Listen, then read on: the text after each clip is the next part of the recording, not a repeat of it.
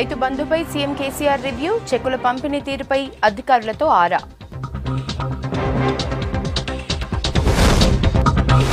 వరంగల్లో army recruitment వెయ్యి పోస్టులకు నలభై వేల అభ్యర్థులు.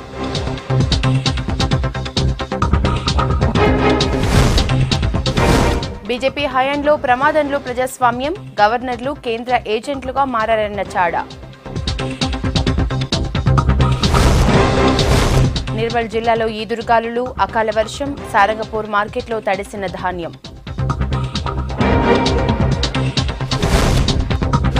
బాసరలో వైభవంగా గోదావరి మహాహారతి రెండు వందల మంది దంపతుల ప్రత్యేక పూజలు. జీవ వైవిధ్యం పర్యావరణ పరిరక్షణ కేవలం ప్రభుత్వాల బాధ్యత మాత్రమే కాదని ప్రతి ఒక్కరూ జీవ వైవిధ్యాన్ని కాపాడుకోవాలని అన్నారు గవర్నర్ నరసింహన్. ఈ కార్యక్రమాల్లో రైతులను భాగస్వాములను చేయాలని సూచించారు. రాజేంద్రనగర్ అగ్రికల్చర్ యూనివర్సిటీలో అంతర్జాతీయ జీవ వైవిధ్య దినోత్సవం జరిగింది. ఈ కార్యక్రమంలో ముఖ్య అతిథిగా పాల్గొన్న తన పేరులోనే జీవ వైవిధ్యం ఉందని అన్నారు. జీవ వైవిధ్య సంరక్షణలో తెలంగాణ ప్రభుత్వం ముందుందన్నారు మంత్రి జోగురామన్న. పర్యావరణం అనేది ఏంటి? మన పైక ఉండేది కింద ఉండేది పక్కన ఉండేది అన్ని రక్షించేది పర్యావరణం.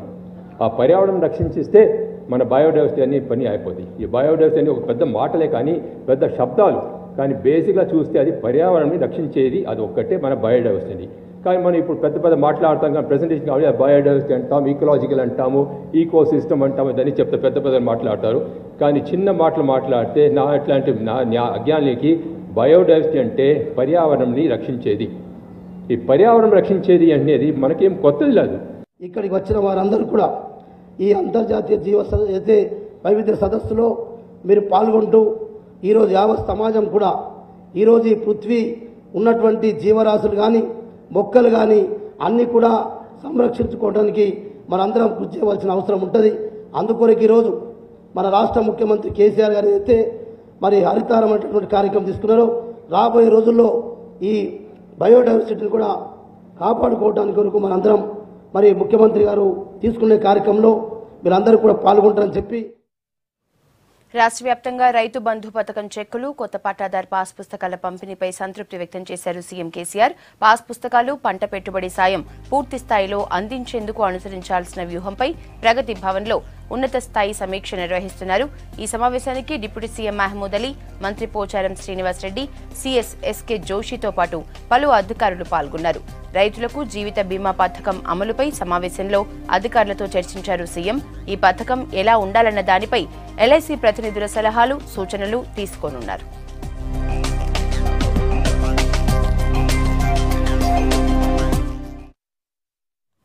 ఆర్మీ ఉద్యోగుల రిక్రూట్మెంట్ కోసం ఓరుగల్లులో యువత పోటీ పడుతున్నారు. పది రోజులు నిర్వహించనున్న ఆర్మీ ర్యాలీలో యూత్ ఉత్సాహంగా పాల్గొన్నారు. ఆర్మీలో వెయ్యి ఉద్యోగాల కోసం నలభై వేల మంది అభ్యర్థులు పోటీ పడుతున్నారు. ఎండాకాలం కావడంతో అర్ధరాత్రి నుంచి ఉదయం ఏడు వరకే అభ్యర్థులకు పోటీలు నిర్వహిస్తున్నారు.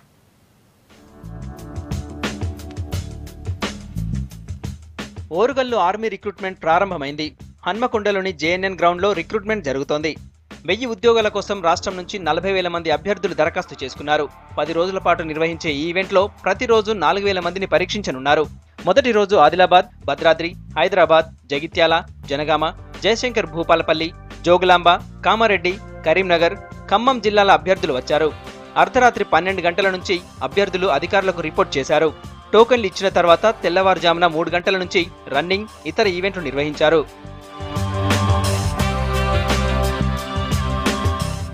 పదిహేడేళ్ల నుంచి ఇరవై మూడేళ్ల వరకు అభ్యర్థులు వివిధ విభాగాల్లో పోటీ పడుతున్నారు దేహదారుఢ్య పరీక్షలను నిర్వహించి ఇందులో ఎంపికైన వారికి వైద్య పరీక్షలు చేస్తారు ఎంపికైన వారికి కొన్ని రోజుల పాటు శిక్షణ ఇచ్చి ఉద్యోగంలో చేర్చుకుంటారు జిల్లా యంత్రాంగం ఇచ్చిన సపోర్ట్ ఆర్మీ రిక్రూట్మెంట్తో విజయవంతంగా కొనసాగుతోందని ఆర్మీ అధికారులు అంటున్నారు जो कल रैली यहाँ पर जवाहरलाल नेहरू स्टेडियम वारंगल में कंडक्ट कर रहे हैं जैसे कि आप देख रहे हैं अभी सिविल एडमिनिस्ट्रेशन के प्रोएक्टिव और अ, पुलिस अ, और पुलिस कमिश्नर साहब के पूरे सपोर्ट के साथ सारे अरेंजमेंट्स इन प्लेस हैं खासकर जो कैंडिडेट्स के रहने के लिए और अ, रात को जब वो आएंगे उनके रहने के लिए टॉयलेट्स पानी खाना सब फैसिलिटी प्रोवाइड की गई है ताकि सुबह उनका माइंड सिर्फ फ्रेश होकर अपने रन के लिए यहाँ पर आए और मुझे पूरा विश्वास है कि सिविल एडम के पूरे प्रोएक्टिव सपोर्ट से ये रैली सक्सेसफुली कंडक्ट होगी పోలీసు సిబ్బంది రెవెన్యూ నగరపాలక సంస్థ అధికారులు అభ్యర్థులకు ఇబ్బందులు రాకుండా చర్యలు చేపట్టారు నిరంతర పర్యవేక్షణకు పోలీసు శాఖ నుంచి ప్రత్యేక బలగాలను ఏర్పాటు చేశారు. తాగునీరు విద్యుత్తు ఇతర సౌకర్యాలను ఏర్పాటు చేశారు. జోగులాంబ గద్వాల జిల్లాలో మరో మూడు రోజులు రైతు బంధు చెక్కులు పాటాదార్ పాస్ పుస్తకాలు పంపిణీ చేయాలని కలెక్టర్ ఆదేశించారు.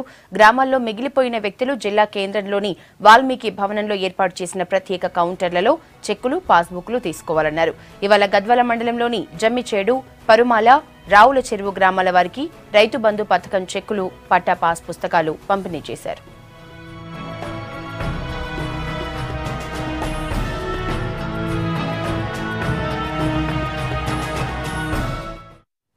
భూగర్భ జలాలు కాపాడేందుకు సీఎం కృషి చేస్తున్నారన్నారు ప్రభుత్వ విప్ గొంగిడి సునీత. యాదాద్రి జిల్లా పెద్ద కందుకూరులో పలు అభివృద్ధి పనులకు ఆమె శంకుస్థాపన చేశారు. ఇరవై ఒక్క లక్షలతో నిర్మించనున్న కాజ్వే తొమ్మిది లక్షలతో కట్టనున్న చెక్ డ్యాం పనుల్ని ప్రారంభించారు. ఆ తర్వాత యాదాద్రి ఎంపీడీఓ కార్యాలయంలో టైలరింగ్లో శిక్షణ పూర్తి చేసుకున్న నలభై మంది మహిళలకు సర్టిఫికెట్లు అందజేశారు. పద్నాలుగు మంది కళ్యాణ లక్ష్మి లబ్ధిదారులకు చెక్కులు పంపిణీ చేశారు విప్ గొంగిడి సునీత. దశాబ్దాలుగా ఇక్కడ రైతాంగానికి ఎటువంటి వెసులుబాటు లేక భూగర్భ జలాలు అడుగంటిపోయి మరి వ్యవసాయం కూడా కొనసాగించలేని పరిస్థితి. గౌరవ ముఖ్యమంత్రి గారు కేసీఆర్ గారు పుణ్యమాని. తెలంగాణ రాష్ట్రం వచ్చిన తర్వాత మరి అక్కడక్కడ గ్రామాలలో చెరువులు కుంటలు తవ్వించడమే కాకుండా అవసరమైన చోట చెక్ డ్యామ్లు కూడా నిర్మాణం చేసి ప్రతి వర్షపు చుక్క నీరును నిలుపుకోవాలనేది మన ముఖ్యమంత్రి గారి కాన్సెప్ట్. ఆకాంక్ష మేరకు ఈరోజు మరి వీలైనంత వరకు అన్ని కుంటలు అన్ని చెరువులు కూడా మిషన్ కాకతీయ ద్వారా మరమ్మతు చేయించుకున్నాం. అదేవిధంగా మైనర్ ఇరిగేషన్ డిపార్ట్మెంట్ ద్వారా ఈరోజు అవసరమైన చోట చెక్ డ్యాములు కూడా నిర్మాణం చేసుకొని చిన్న చిన్న చెక్ డ్యాములు కూడా నిర్మాణం చేసుకొని నీటిని నిలుపుకొని భూగర్భ జలాలు కొంత మెరుగుపడే విధంగా ప్రయత్నం చేస్తున్నాం అందులో భాగంగానే ఈరోజు మరి పెద్ద కందుకూరు పరిధిలో వాగు మీద చిన్నపాటి చెక్ డ్యామ్ కూడా మంజూరు చేసుకోవడం జరిగింది. దానికి ఈరోజు ఫౌండేషన్ స్టోన్ వేసుకున్నాం. ఈ చెక్ డ్యామ్ వల్ల అదేవిధంగా కాజ్వే వల్ల కూడా వీళ్ళకి మంచి వెసులుబాటు అవుతుంది. ప్రజాస్వామ్యం ప్రమాదంలో ఉందన్నారు సిపిఐ రాష్ట్ర కార్యదర్శి చాడ వెంకటరెడ్డి. బీజేపీ అధికారంలోకి వచ్చాక దేశంలో మత విద్వేషాలు పెరిగాయని నియంతృత్వ ధోరణులు ఎక్కువయ్యాయని అన్నారు. దళిత మైనారిటీలపై దాడులు జరుగుతున్నాయని ఆరోపించారు. గవర్నర్లు పూర్తిగా కేంద్ర ప్రభుత్వ ఏజెంట్లుగా వ్యవహరిస్తూ ప్రజాస్వామ్యానికి చేటు చేస్తున్నారన్నారు చాడా. బీజేపీ ఎన్డీఏ ప్రభుత్వం అధికారంలోకి వచ్చిన తర్వాత మతోన్మాద శక్తులు పెట్టకపోయినాయి ఫాసిస్ట్ ధోరణులు పగులుతూ ఉన్నాయి. నియంతృత్వ ఒకళ్ళు పెరిగిపోయినాయి. దళితులపైన దాడులు మైనార్టీలపైన దాడులు అద్దోదం పెరిగిపోయినాయి. మరోవైపున రాజ్యాంగ ఉల్లంఘనలు బీజేపీ ప్రభుత్వాన్ని గద్దెదించాలంటే లౌకిక ప్రజాతంత్ర వామపక్ష కూటమి విశాల కూటమి ఏర్పడాలని నేను నిర్ణయించాను. గవర్నర్లు పూర్తిగా కేంద్ర ప్రభుత్వ ఏజెంట్ అకాల వర్షాలకు నిర్మల్ జిల్లా సారంగపూర్ మండలంలో ప్రజలు భారీగా నష్టపోయారు. నిన్న సాయంత్రం ఈదురుగాలులతో కురిసిన వర్షానికి ఇళ్ళ పైకప్పులు ఎగిరిపోయాయి. విద్యుత్ స్తంభాలు నేలకొరిగాయి. వైర్లు తెగిపడ్డాయి. ధని జామ్ వంజర్ కౌట్ల కంకట తాండ్ర గ్రామాలకు విద్యుత్ సరఫరా నిలిచిపోయింది. సారంగపూర్ మార్కెట్ యార్డులో వరి మొక్కజొన్న పంటలు తడిసి ముద్దయ్యాయి. ప్రభుత్వమే తమను ఆదుకోవాలంటున్నారు బాధితులు. గాలి వానతోటి కరెంట్ కాంబాలు ఇక్కడ ఓటలో రేకులన్నీ లేచిపోయినాయి సామాన్ అంతా నష్టపోయింది. చాలా బాగా నష్టపోయింది. కాంబాల కరెంట్ ఎక్కడ పడిపోయినాయి? చాలా రోడ్డు పంట ఎక్కడ చూసినా కాంబాల కరెంట్ పోల్ బాగా పడిపోయినాయి. దానిపై అధికారులు తొందరగా చర్య తీసుకోవాలని కోరుతున్నాను నిన్న సాయంత్రం ఎదురు గాల్పులతో కొద్దిగా వర్షం పడ్డది. ఆ గాల్పుల్లో ఎక్కువ నష్టం జామ్ గ్రామంలో జరిగింది. ఎక్కువ ఎలక్ట్రిక్ డ్యామేజ్ జరిగింది పోల్స్ విరిగిపోయినాయి. సరంగపూర్లో కూడా కొంచెం పడ్డది స- కౌట్లలో కూడా పడ్డది. కానీ ఎక్కువ నష్టం జాము గ్రామంలో అయింది రేకులు లేచిపోయినాయి. పబ్లిక్ ఎక్కడ ఇబ్బంది కాకుండా వాటర్ ట్యాంకులు కూడా నిర్మల్ నుంచి తెప్పిస్తున్నారు మా అధికారులు. ఈ డ్యామేజ్ని ఏదైతుందో గౌరవ మంత్రి వారు అల్లుల ఇంద్రకండి గారికి తెలియపరిచి వీళ్ళకు ఏదైనా నష్టపరిహారం ఇప్పించే ప్రయత్నం చేస్తాను. మంచిర్యాల జిల్లా కేంద్రంలోని ఓ లాడ్జిలో అక్రమంగా అమ్ముతున్న బంగారు ఆభరణాలను పట్టుకున్నారు పోలీసులు. గుంటూరు జిల్లా మంగళగిరి నుంచి తీసుకువచ్చి ఇక్కడ అమ్మకాలు చేస్తున్న ఇద్దరు వ్యక్తులను రామగుండం టాస్క్ ఫోర్స్ పోలీసులు అదుపులోకి తీసుకున్నారు. నిందితుల నుంచి తొమ్మిది వందల ముప్పై రెండు గ్రాముల బంగారు ఆభరణాలని స్వాధీనం చేసుకున్నారు. పట్టుకున్న బంగారం విలువ పద్దెనిమిది లక్షలు ఉంటుందన్నారు పోలీసులు. మంగళగిరి నుంచి ఇద్దరు వ్యక్తులు సురేష్ మరియు నరసింహరావు అనే వ్యక్తులు జీరో గోల్డ్ అంటే ఎటువంటి బిల్లులు అనుమతి పత్రాలు లేనటువంటి గోల్డ్ని తీసుకొచ్చి ఇక్కడ లోకల్గా అమ్ముతున్నారన్నటువంటి సమాచారం మేరకు మేము అందులో నరసింహారావు అనే అతని దగ్గర సుమారుగా నాలుగు వందల ఎనభై గ్రాముల గోల్డ్ ఆర్నమెంట్స్ మరియు సురేష్ అనే అతని దగ్గర నాలుగు వందల అరవై గ్రాముల గోల్డ్ ఆర్నమెంట్స్ దొరికినాయి. ఇది వీళ్ళ దగ్గర ఎటువంటి బిల్స్ కానీ వే బిల్స్ కానీ లేవు. వీళ్ళు ఈ దొంగతనంగా ఇట్లా అమ్ముతా ఉన్నారు. ఇక్కడ ఇక్కడ లోకల్ చుట్టుపక్కల ఉన్నటువంటి బెల్లంపల్లి ఆ, మందమర్రి గోదావరికని మంచిర్యాల ఈ చుట్టూ ఉన్నటువంటి షాపులలో వీళ్ళు సప్లై చేస్తున్నారు. ఇతర రాష్ట్రాల నుంచి వచ్చి మహిళలు పిల్లల్ని చంపుతున్నారని వస్తున్న పుకార్లలోని జిల్లాల్లో జనం వణికిపోతున్నారు ఈ పుకార్లతో. సోషల్ మీడియాలో వస్తున్న వదంతులతో మెదక్ జిల్లా శివంపేటలో రోడ్లపై బస్టాండ్లలో మతి స్థిమితం లేని వారిపై దాడులు జరిపారు స్థానికులు. పోలీసులకు సమాచారం రావడంతో బాధితుల్ని అదుపులోకి తీసుకుని బంధువులకు అప్పగించారు. అయితే ఫేస్బుక్ వాట్సాప్లో వస్తున్న వదంతుల్ని నమ్మొద్దంటున్నారు పోలీసులు. ఇతర రాష్ట్రాల నుంచి ఎవరూ రాలేదని హత్యలు చేస్తున్నారు అనేవి ఒట్టి రూమర్స్ అని అంటున్నారు పోలీసులు. ఏ జిల్లాలోనూ హత్యలు జరగలేదని చెప్తున్నారు.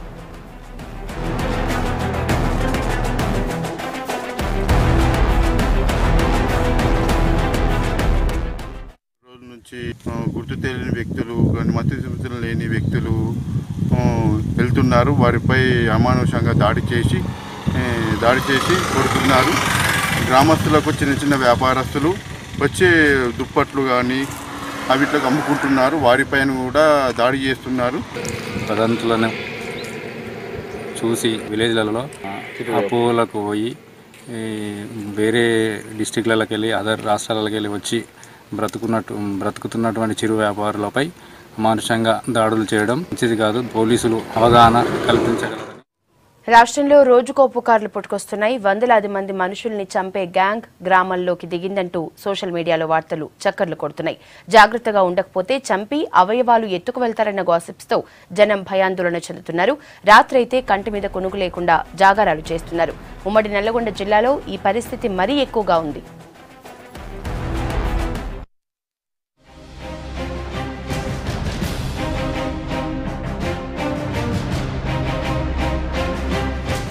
రాష్ట్రంలోకి కిరాతకులు వచ్చారంటూ సోషల్ మీడియాలో పుకార్లు షికార్లు చేస్తున్నాయి. వాట్సాప్ ఫేస్బుక్ ఎక్కడ చూసినా ఇదే న్యూస్. వందలాది మంది గ్యాంగ్ ఊళ్ళోకి వచ్చి మనుషుల్ని చంపి అవయవాలు ఎత్తుకెళ్తారంటూ ప్రచారం జరుగుతోంది. కొత్త వాళ్ళు వస్తే జాగ్రత్త. ఒంటరిగా తిరగొద్దంటూ వాట్సాప్లో మెసేజ్లు వస్తున్నాయి. ఉమ్మడి నల్గొండ జిల్లాలో ఈ ప్రచారం ఎక్కువగా ఉంది. సోషల్ మీడియాలో వస్తున్న వార్తలతో భయపడుతున్నారు జనం. పనులకు వెళ్ళకుండా పిల్లల దగ్గరే ఇంటికాడ కాపలా ఉంటున్నారు. కొత్త వాళ్ళు ఎవరైనా అనుమానాస్పదంగా కనిపిస్తే దాడులు చేస్తున్నారు. అప్పాజిపేటలో మతిస్థిమితం లేని ఓ వ్యక్తిని పట్టుకుని చితకబాదారు గ్రామస్తులు. అదిగో పక్క ఊళ్ళో పడని ఈ ఊళ్ళోకి చెప్పడం కానీ మరి ఈ ఊళ్ళో విషయం అవతల ఊళ్ళో చెప్పడం కానీ మరి అనేక విలే- విలేజ్లల్లో ఇక్కడ జరుగుతుంది అక్కడ జరుగుతున్నాయి అనేక విలేజ్లల్లో ప్రజలు నిద్ర కూడా పోకుండా రాత్రి పగళ్ళు మరి కట్టెలు పట్టుకొని గస్తీ కాసిన పరిస్థితి యువకులు గస్తీ కాసిన పరిస్థితి ఏర్పడుతుంది. మరి అటువంటి ప్రచారం ఎందుకు జరుగుతుందో మరి ఎక్కడి నుంచి జరుగుతుందో దాని మూలాలు ఎక్కడ ఉన్నాయో బాధ్యులైన వారిని కూడా పోలీసులు మరి వాళ్ళకి అరెస్ట్ చేయడం లేకుంటే వాళ్ళ మీద చర్యలు తీసుకోవడం చేస్తే కానీ ప్రజలకు ఒక విధంగా మనోధైర్యం ఇచ్చినట్టు ఉంటుందని సోషల్ మీడియాలో జరుగుతున్న ప్రచారంపై సీరియస్గా దృష్టి పెట్టారు పోలీసులు. దీనిపై పూర్తి స్థాయి నివేదిక ఇవ్వాలని జిల్లా ఇన్ఛార్జి ఎస్పీ అడిషనల్ ఎస్పీలను ఐజీ స్టీఫెన్ రవీంద్ర ఆదేశించినట్లు తెలుస్తోంది. మనుషుల్ని చంపి తింటున్న వీడియోల్ని పోస్ట్ చేసిన వారి వివరాలు తెలుసుకునేందుకు పోలీసులు ప్రయత్నాలు చేస్తున్నారు. ఇందుకోసం ప్రత్యేక బృందాల్ని రంగంలోకి దింపాయి. అయితే సోషల్ మీడియాలో వస్తున్న వార్తలు పుకార్లు తప్ప వాస్తవం కాదంటున్నారు పోలీసులు. అసత్య ప్రచారం ఎక్కువైంది కాబట్టి గ్రామస్తులు నేను కోరేది ఏంటంటే ఈ తండాలలో కానీ లేకపోతే మారుమూల ప్రాంతాల్లో ఎవరైనా కొత్త వ్యక్తులు కనబడితే సడన్ అయినా పట్టుకొని కొట్టడము చెట్ల కట్టేయడం ఇట్లా చేయకండి దయచేసి. అది చట్టంని చేతిలో తీసుకున్నట్లు అవుతుంది. ఎందుకంటే అందరు కలిసి పట్టుకున్నప్పుడు ఒక్క మనిషి పారిపోయేదానికి ఆస్కారం ఉండదు కాబట్టి మీరు దయచేసి మీరు పోలీస్కి ఇంటిమేషన్ ఇచ్చినట్టయితే చాలా బాగుంటుంది. లేకపోతే డైల్ హండ్రెడ్ కాల్స్ కూడా చెప్పొచ్చు. ఇలాంటి రూమర్స్ ఇలాంటి అసత్య ప్రచారాలు నమ్మద్దని చెప్పి కోరుతా ఉన్నాను. సోషల్ మీడియా ఉన్నది ఒక మంచి ప్రచారం చేయాలి కానీ ఇలాంటి తప్పుడు ప్రచారాలు లేని ఉన్నట్లు సృష్టించడం ఇవన్నీ తప్పుడు ప్రచారాలు చేస్తే సమాజాన్ని డిస్టర్బ్ చేసినట్లయితే వాళ్ళు వాళ్ళ మీద డెఫినెట్లీ యాక్షన్ ఉంటుందని చెప్పి తెలియజేస్తున్నారు అవాస్తవాల్ని సోషల్ మీడియాలో ప్రచారం చేయొద్దని సూచిస్తున్నారు పోలీసులు. ప్రజల్ని భయాందోళనకు గురి చేసే పోస్టులను షేర్ చేస్తే చర్యలు తీసుకుంటామని వార్నింగ్ ఇస్తున్నారు.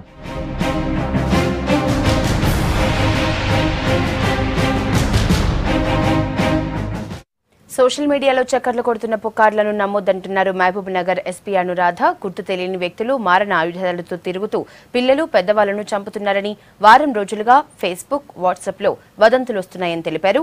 జిల్లాల్లోనే కాదు రాష్ట్రంలో ఎక్కడా అలాంటి ఘటనలు జరగలేదన్నారు. అనుమానాస్పదంగా ఎవరైనా కనిపిస్తే పోలీసుల్ని సంప్రదించాలని కోరుతున్నారు ఎస్పీ. గత మూడు నాలుగు రోజుల నుంచి ఒక మహబూబ్ నగర్ జిల్లాలోనే కాకుండా మొత్తము రాష్ట్ర వ్యాప్తంగా బీహార్ నుంచి తమిళనాడు నుంచి ఇంకా వేరే రాష్ట్రాల నుంచి వచ్చి పిల్లల్ని ఎత్తుకుపోయే వాళ్ళు తిరుగుతున్నారని ఒక రూమర్ వస్తుంది. అన్ని నాటు మహబూబ్ నగర్ డిస్ట్రిక్ట్లోనే కాక వేరే జిల్లాలలో కూడా ఈ రూమర్ బాగా స్ప్రెడ్ అయింది.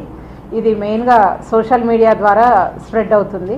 ఇది ఫస్ట్ కర్ ఆంధ్రప్రదేశ్లో కర్నూలు అక్కడి నుంచి స్టార్ట్ అయ్యి తెలంగాణకు వచ్చింది. మెయిన్గా ప్రజలకు చెప్పేది ఏంటంటే అట్లాంటి మూట ఏది కూడా తెలంగాణలో కానీ మహబూబ్ నగర్ జిల్లాలో కానీ ఎక్కడ కూడా లేదు. అయితే ప్రజలు ఈ రూమర్స్ని నమ్మి కొత్తగా ఊర్లలోకి వచ్చిన వాళ్ళని బిచ్చగాండ్లని కొంచెము మెంటల్లీ అన్సౌండ్ ఎవరన్నా కనిపిస్తే వాళ్ళని ఇదే మూట అనుకొని వాళ్ళని కొట్టడము బంధించడం జరుగుతుంది. ఎప్పుడు కూడా ప్రజలు ఈ వదంతులు నమ్మొద్దని లాని వాళ్ళ చేతిలోకి తీసుకోవద్దని ఎవరన్నా అనుమానాస్పదంగా కనిపిస్తే ఇమీడియట్గా లోకల్ పోలీస్కి ఇన్ఫామ్ చేస్తే మేము వాళ్ళు ఎవరు అనేది వెరిఫై చేస్తాము. ప్రజలందరూ ఇది తెలుసుకోవాలి. భద్రాద్రి కొత్తగూడెం జిల్లాలో మున్సిపాలిటీల్లో నిధులు వెనక్కి వెళ్ళిపోయాయి పాలకవర్గం అధికారుల మధ్య సమన్వయ లోపంతో నిధులు వృధా అయ్యాయి. తిరిగి ప్రభుత్వ ఖజానాకే వెళ్ళిపోయాయి వార్డుల్లో సమస్యలు ఉన్నా అధికారులు ప్రజాప్రతినిధులు పట్టించుకోకపోవడంతోనే ఈ పరిస్థితి వచ్చిందంటూ జనం ఆగ్రహం వ్యక్తం చేస్తున్నారు.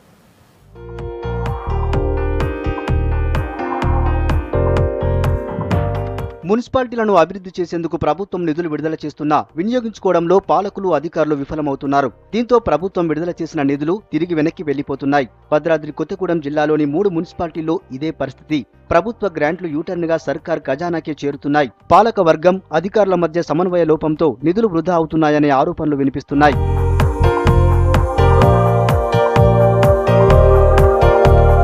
మున్సిపల్ డెవలప్మెంట్ నిధులతో ఆలస్యం జరిగితే ప్రభుత్వ గ్రాంట్లను ఉపయోగించుకోవచ్చు. దీనికి కొంత కాల పరిమితి ఉంటుంది. కొత్తగూడెం మున్సిపాలిటీలో దాదాపు ఇరవై ఐదు వార్డులు మురికివాడలు ఉన్నాయి. వీటి అభివృద్ధి కోసం ప్రభుత్వం నిధులు విడుదల చేసింది. అయితే నిధులు ఉపయోగించుకోవడంలో పాలకవర్గం అధికారులు నిర్లక్ష్యం చేయడంతో మూడు కోట్ల నలభై లక్షలు తిరిగి వెళ్ళిపోయాయి మనం నాలుగు సంవత్సరాల నుంచి వచ్చిన మున్సిపల్ ఫండ్ ఒక్క పైసా కూడా ఏరియా మీద ఖర్చు పెట్టకుండా వచ్చిన ఫండ్నంతా తిరిగి పంపడం జరుగుతుంది. మురుగువాడలు చాలా ఉన్నాయి. చాలా వాసనతో జనాలు అంతా ప్రజలంతా నన్ను ఇబ్బంది పెడుతున్నా కూడా ఎన్నిసార్లు కంపెనీలు చేసినా ఆ పండ్లకి వెళ్ళి ఒక్క పైసా ఖర్చు పెట్టలేదు. మొత్తం ఇంకొక సంవత్సరం కాలం ఉంది. ఈ కాలంలో ఇంకా మేమేం డెవలప్మెంట్ చేసుకుంటాం. ఆ పండ్లు మాకు ఖర్చు పెడుతుంటే మా జనాలు మా కాలువలు అన్నీ తయారయ్యండి పాల్వంచ మున్సిపాలిటీకి కౌన్సిల్ లేకపోవడంతో ఇక్కడ అభివృద్ధి నిధులు మిగిలిపోయాయి. రెండు లక్షల ఎనభై తొమ్మిది వేల ప్రభుత్వ గ్రాంట్ను తిరిగి పంపించారు అధికారులు. ఆర్డీఓ స్థానంలో ఉన్న మున్సిపల్ స్పెషల్ ఆఫీస్ కౌన్సిల్ తీర్మానాన్ని ఆమోదించి నిధులు ఖర్చు చేసే అవకాశమున్నా అది జరగలేదు. ఇల్లందు మున్సిపాలిటీ పరిస్థితి మరీ అధ్వాన్నంగా మారింది. ఇక్కడ పాలక మండలి అంతా ఒకే పార్టీకి చెందిన కౌన్సిల్ సభ్యులు ఉన్నా నిధులు ఖర్చు చేయలేకపోయారు. దీంతో ఎనభై తొమ్మిది లక్షలకు పైగా నిధులు వృధా అయ్యాయి. కొత్తగూడెం మున్సిపాలిటీలో ఒక వంద కోట్లు పెట్టినా ఇంకా ఏదో ఒక పని బ్యాలెన్స్ ఉంటుంది. మూడు కోట్లు రిటర్న్ పోవడం చాలా బాధాకరం. గత కౌన్స్ కమిషనర్ గారు ఈ నిధుల్ని ఖర్చు పెట్టకపోవడమే దీనికి నిదర్శనం. ఈ ఖర్చు పెట్టని వారి మీద కఠిన చర్యలు తీసుకోవాలి. ప్రభుత్వం నుంచి క్లోజింగ్ గైడ్ లైన్లు సమయానికి రాకపోవడంతోనే నిధులు తిరిగి పంపించామంటున్నారు మున్సిపల్ అధికారులు. కేవలం మనము చాలా సంవత్సరాల నుంచి ఏదైతే ఫండ్ వాడుకోకుండా ఉంచిన ఫండ్ మాత్రమే అది ఫ్రీజ్ చేయడం జరిగింది. అది అన్ని మున్సిపాలిటీలు ఇలా చేశారు. రాష్ట్రంలో డెబ్బై రెండు మున్సిపాలిటీ అభివృద్ధికి సరైన ప్రణాళికలు సిద్ధం చేయకపోవడం వల్లే నిధులు వెనక్కి వెళ్ళిపోయాయన్న విమర్శలు వినిపిస్తున్నాయి.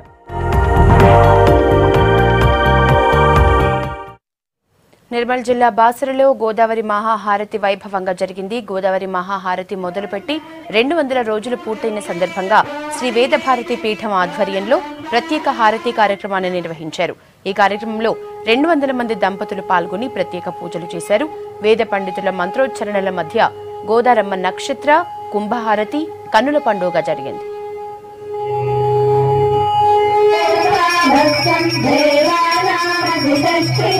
భగవంతి